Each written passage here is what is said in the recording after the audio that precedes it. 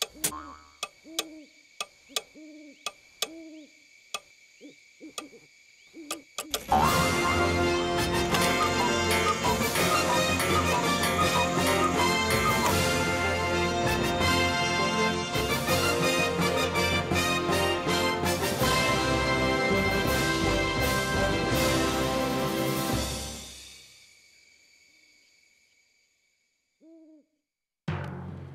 Poštovani gledatelji, dobra večer.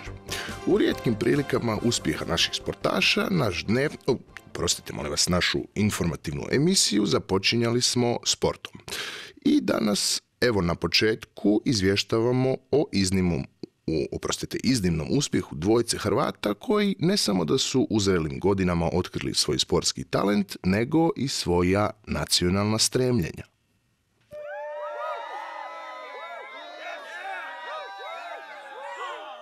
Novi sportski uspjeh hrvatskih sportaša.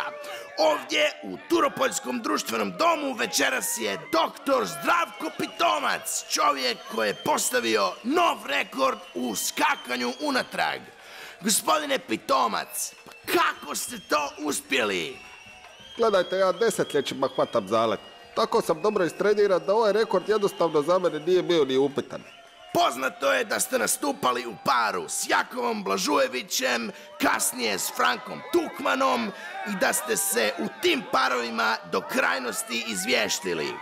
Sada ste svojim najnovijim dijelima uspjeli preskočiti cijelu vlastitu prošlost.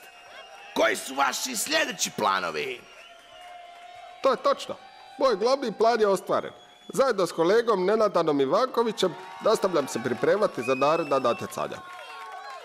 Ostaje nam nadati se da će ovaj sport postati olimpijskim jer naša zemlja upravo obiluje brojnim talentima. Još jednom bravo za gospodina Pitomca. U međuvremenu naše službe spašavanja u suradnji s kolegama iz niza europskih zemalja nastavljaju potragu za Ivom Salamanderom. Evo nas, štovani gledatelji, u Švedskoj, u blizini sela gdje je prije dva dana posljednji put viđen hrvatski premijer Ivo Salamander. Prema iskazima koje smo prikupili od seljana, osoblja Hrvatskog veleposlanstva i mjesne policije, zadnji susret sa Salamanderom ovdje je prije nešto manje od 48 sati imao jedan od žitelja ovoga sela. Prekjučer dok sam radio oko kuće prišao mi je taj čovjek u odijelu i na engleskom rekao da se zove Ivo Salamander, da je zaposlen kao hrvatski premijer te da po čitavoj Europi traži nekog ko će ga podržavati na putu u Europu. Pitao me živi li neko gore, a ja sam kazao da mislim da nema nikoga, ali da ipak mora provjeriti. On je promrmljao da hoće, te me zamolio da narednih dana budem doma, jer bi me htio, kako je rekao, izlobirati za potporu čim se vrati iz planine. Nakon razgovora s ovim seljakom, premijer se zaputio u planinu.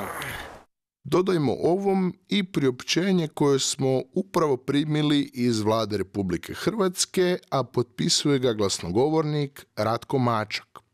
U priopćenju stoji kako je premijer ulažući velike diplomatske napore da započnu pregovori o ulasku naše zemlje u Europsku uniju, pokušao kod Šveđana lobirati za mekši stav prema hrvatskom pridruživanju Europskoj uniji. A mi, eto, idemo na razgovor o kulturi. Kolegica Koka Kričko razgovarala je s predsjednikom Matice Hrvatske Igorom Zidarom.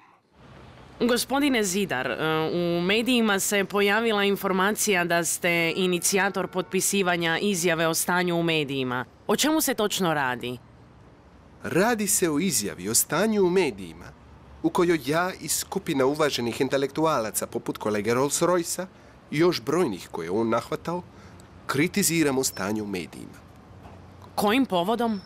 To vam ne mogu reći jer sad smo u medijima.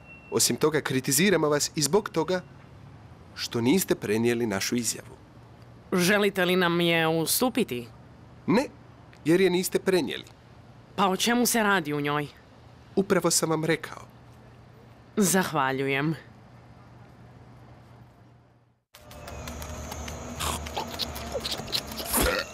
Laku noć, Hrvatska. Vraćamo se zanimljivostima iz zemlje. Naši vrijedni reporteri otkrili su čovjeka kojemu su strast brojke. Ne samo da su mu strast, nego svakodnevno provodi punih 8 sati na radnom mjestu igrajući se s brojkama. Po mišljenju njegovih radnih kolega, uzaludno, po našem mišljenju, zanimljivo. Prilog Kloferke Nofak Spržić. Kada je prije desetljeća stigao na zagrebačku periferiju, tada još dječačić, Ivan Davor Trpimir Zvonimir Zdeslav Šuker nije mogao ni slutiti da će se jednoga dana tako strasno baviti brojkama. Tih je godina, poput mnogih vršnjaka, udarao loptu, zatim slabije školske kolege, a znao je udariti i crtu kada bi postojala opasnost od kontrolnog zadatka iz nekog predmeta koji nije spremio. No, baš nikada nije udarao po brojevima. Gospodine Šuker, otkad datira vaša ljubav prema brojkama? 64. Zbog privrženosti brojevima postali ste i ministar financija. Što nas očekuje? Hoće li se Hrvatska stabilizirati? 246, 12 milijuna, 50 tisuća, 452, 90, Dobro, znači našim gledateljima možemo reći da je sve u redu, da se ne boje. 300 tisuća, 511, 30 tisuća i 24, 200, Hvala! 50. Laku noć. Vrijeme je za izvještaj s Pantovčaka. Predsjedniče, kako to ovdje volimo reći, opletite. E, Nenad i Miro, dva prijatelja, e, šeću tako u prirodi i tako oni razgovaraju o siru, o, o vrhnju, o sinu, o svemu. riječ po riječ. Pa, Neno pita Miru, čuj mi rek, e, kaj bi ti napravio da sad bude smak svijeta? Mirek odgovara, ma, e, ja bi uzeo ženu i djecu, spakirao se i pravac EU. EU. E, pravac pa onda, je li, aha. Da.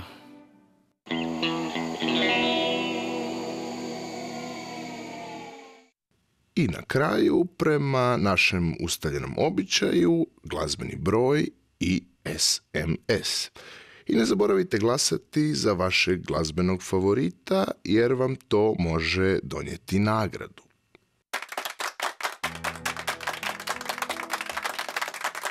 Igrače sem slagal i zečice im dal i sve svoje eure na njih sam skrcal. Pa sam skucao jednu milju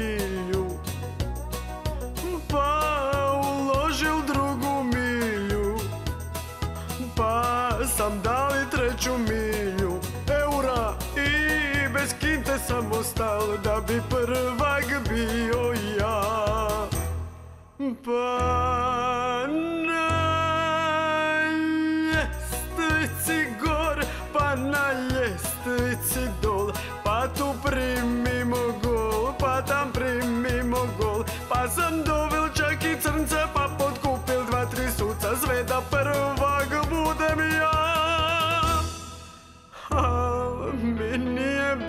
spasa. Štel sam biti veliki dasa I da živim ko u raju. A sad mi svi popevaju